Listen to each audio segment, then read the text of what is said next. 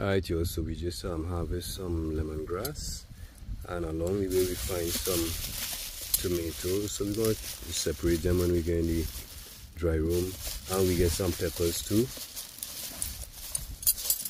Uh, we, have, we get some nice peppers there too.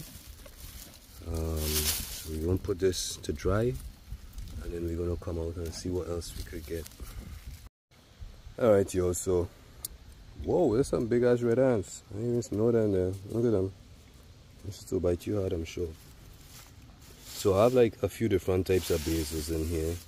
Uh, when we harvest the basil, we just make blend them all together. We don't um, separate them.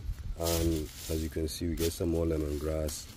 I like about two more plants growing just around. So we get some more lemongrass. We have basil. We're gonna put this to dry and then let's see what else we could get. All right yo so we get some oregano. We find some um, comfrey.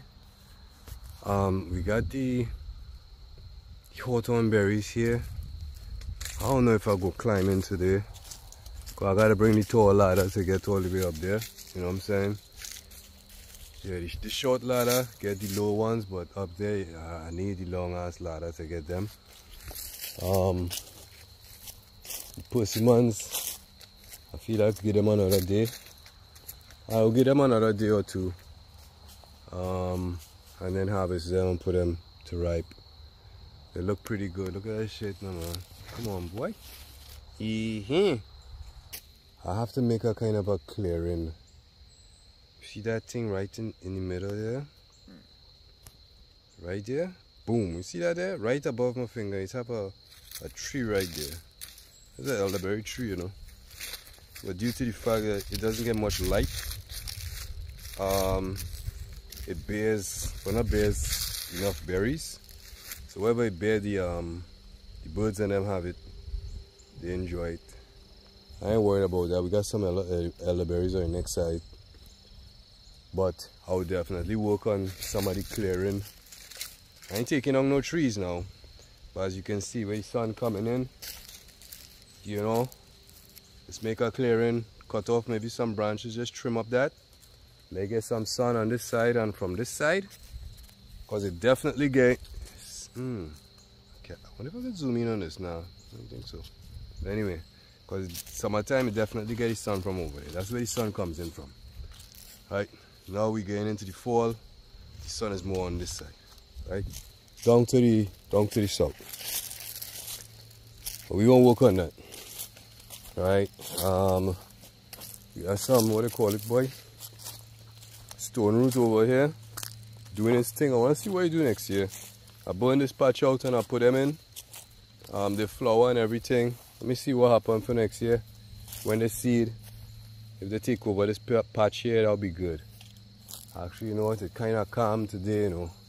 So I might burn the next patch somewhere around here because i want to grow some lemon balm Lemon balm don't really like the sun too tough.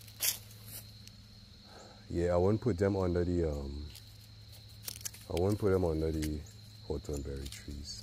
See over there? That wouldn't be a good idea at all. They'll be getting stepped on. So I'll put them somewhere down in the corner here. Where it gets some sunlight and that's it. So maybe burn a patch. Wait boy. I feel like burning a patch right here, you know in line with this here. Yeah, patch right here. And transplant the lemon lemon balm down here. And whatever seeds, whatever other seeds we have, and they'll be ready for the for the um for the spring. You know what I mean? And let's see, we'll continue. Alright, so there's the harvest for today. For now. Um what else we have boy? I might come back out and get some goji berries. Actually, let me get some of this um, St. John's wort right here. Let me get some of the St. John's, for real. I'm gonna make a nice lemongrass St. John's wort tonight. And I will sleep like a baby. A strong cup. Stem, leaves, everything. St. John's. Think I plain. Mm -mm. Alright, y'all, so I did get some more marigolds and I got some of the St. John's, right? So we're gonna put this to dry.